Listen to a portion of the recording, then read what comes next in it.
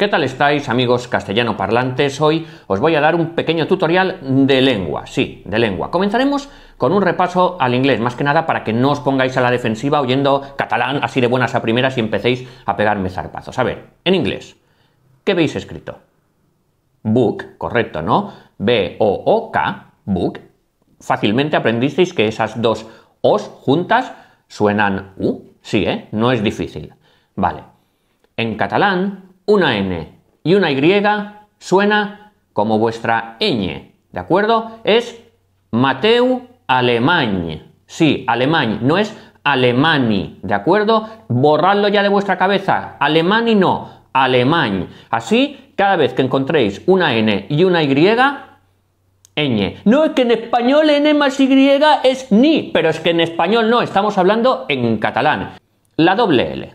¿Tú aquí qué lees? Castellana, la lengua castellana, el paseo de la castellana, no hay ningún problema, ¿no? Fácil, fácil, fácil. ¿Qué lees aquí? Valdemosa, no es Valdemosa, no, Valdemosa no, ¿por qué cojones lees una L cuando hay una doble L? Por joder, supongo que será Valdemosa. Igual que al final de palabra, apellido mallorquín clásico de toda la vida. Ripoll, no es Ripoll. Haz un esfuerzo que no es tan difícil, de verdad. Vamos con la X. ¿Tú aquí qué ves escrito? Xavi, no, Xavi no, Xavi.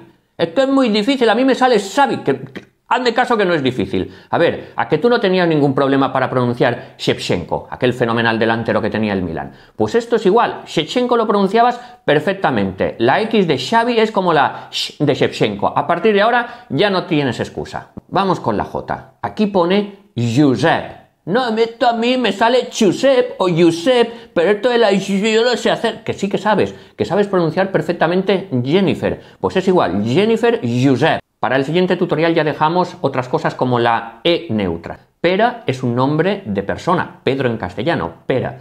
He visto a pera, no, has visto a pera. La pera te la comes si está buenísima.